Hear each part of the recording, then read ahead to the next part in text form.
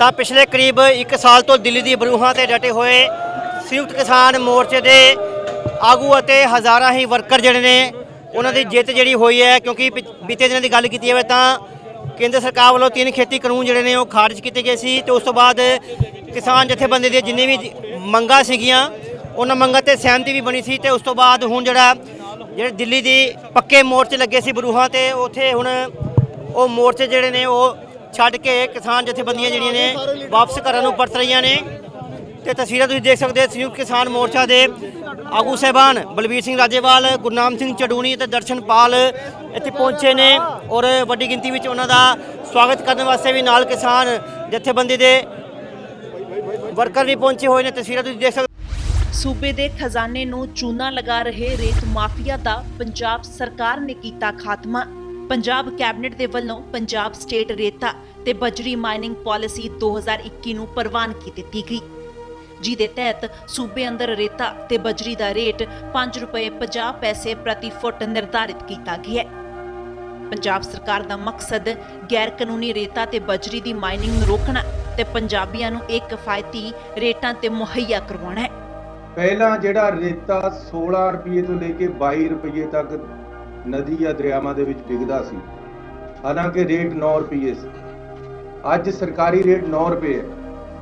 ਐਸੀ ਆਪਣੀ ਸਰਕਾਰ ਆਉਣ ਤੋਂ ਬਾਅਦ ਬਿਲਕੁਲ ਸਿੱਧਾ ਕਰਤਾ ਕੰਮ, ਤੁਸੀਂ ਕਿਸੇ ਦਰਿਆ ਦੇ ਚਲੇ ਜਾਓ, ਅੱਜ 9 ਰੁਪਏ ਰੇਟਾ ਮਿਲ ਰਿਹਾ। ਲੇਕਿਨ ਇਹ ਵੀ ਮਹਿੰਗਾ ਹੈ। ਇਸ ਕਰਕੇ ਅੱਜ ਅਸੀਂ ਫੈਸਲਾ ਕੀਤਾ ਹੈ ਕਿ ਹਰ ਦਰਿਆ ਜਾਂ ਖੱਡ ਤੇ ਰੇਤੇ ਦਾ ਰੇਟ 5 ਰੁਪਏ 50 ਪੈਸੇ ਹੋਏਗਾ। ਇਹਦੇ ਨਾਲ ਨਾਲ ਪੰਜਾਬ ਸਰਕਾਰ ਦੇ ਵੱਲੋਂ ਜ਼ਮੀਨ ਦੇ ਮਾਲਕ ਨੂੰ 3 ਫੁੱਟ ਤੱਕ ਮਿੱਟੀ ਕੱਢਣ ਦੀ ਮਨਜ਼ੂਰੀ ਵੀ ਦਿੱਤੀ ਗਈ ਹੈ, ਜਦਕਿ ਇੱਟਾਂ ਦੇ ਪੱਠਿਆਂ ਨੂੰ ਮਾਈਨਿੰਗ ਪਾਲਿਸੀ ਤੋਂ ਬਾਹਰ ਵੀ ਕੀਤਾ ਗਿਆ ਹੈ, ਕਿਉਂਕਿ ਪੰਜਾਬ ਸਰਕਾਰ ਸੂਬੇ ਨੂੰ ਤਰੱਕੀ ਦੀਆਂ ਲੀਹਾਂ ਤੇ ਹੋਰ ਅੱਗੇ ਲੈ ਕੇ ਜਾਣਾ ਚਾਹੁੰਦੀ ਹੈ। ਤਾਂ ਹੀ ਤਾਂ ਹੁਣ ਘਰ ਘਰ ਚੱਲੀ ਗੱਲ, ਪੰਜਾਬ ਸਰਕਾਰ ਕਰਦੀ ਹੈ ਮਸਲੇ ਹੱਲ। ਦਿਓ ਸੱਚਖੰਡ ਸ੍ਰੀ ਹਰਮੰਦਰ ਸਾਹਿਬ ਦੇ ਬਾਹਰ ਦੀਆਂ ਜਿੱਥੇ ਕਿ ਹੁਣ ਕਿਸਾਨ ਆਗੂਆਂ ਵੱਲੋਂ ਗੁਰੂ ਘਰ ਦਾ ਆਸ਼ੀਰਵਾਦ ਲਿਆ ਜਾਣਾ ਹੈ ਕਿਉਂਕਿ ਵੱਡਾ ਮੋਰਚਾ ਫਤਿਹ ਕੀਤਾ। ਕਿਸਾਨ ਮਜ਼ਦੂਰ ਏਕਤਾ! ਮੋਦੀ ਸਰਕਾਰ! ਮੋਦੀ ਸਰਕਾਰ! ਮੋਦੀ ਸਰਕਾਰ! ਕਿਸਾਨ ਮਜ਼ਦੂਰ ਏਕਤਾ!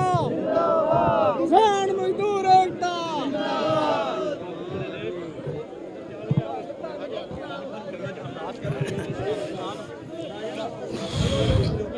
ਲਗਾਤਾਰ ਹੀ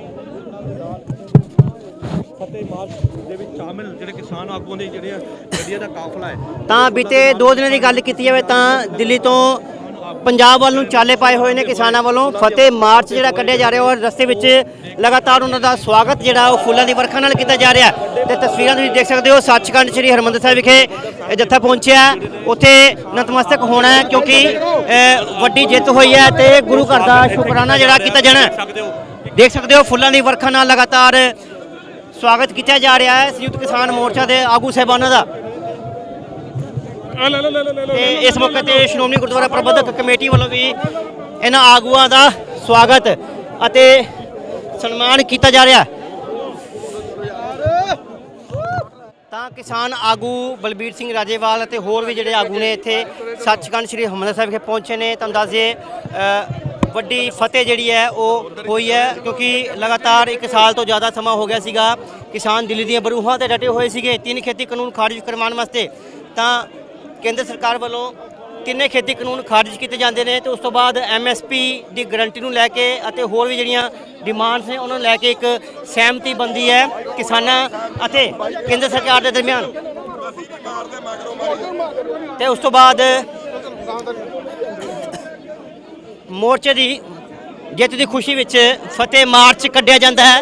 ਦਿੱਲੀ ਤੋਂ ਪੰਜਾਬ ਤੱਕਨ ਤੇ ਇਹ ਫਤਿਹ ਮਾਰਚ ਹੁਣ ਸੱਚਖੰਡ ਸ੍ਰੀ ਹਰਮੰਦਰ ਸਾਹਿਬ ਵਿਖੇ ਪਹੁੰਚਿਆ ਹੈ। ਜਿਸ ਵਿੱਚ ਕਿਸਾਨ ਆਗੂ ਬਲਬੀਰ ਸਿੰਘ ਰਾਜੇਵਾਲ ਅਤੇ ਹੋਰ ਵੀ ਜਥੇਬੰਦੀ ਦੇ ਆਗੂ ਸਹਿਬਾਨ ਇੱਥੇ ਪਹੁੰਚੇ ਨੇ। ਔਰ ਉਹਨਾਂ ਵੱਲੋਂ ਜਿੱਥੇ ਗੁਰੂ ਘਰ ਦਾ ਸ਼ੁਕਰਾਨਾ ਕੀਤਾ ਜਾਣਾ ਹੈ, ਅਰਦਾਸ ਬੇਨਤੀ ਕੀਤੀ ਜਾਣੀ ਹੈ ਤਿੰਨ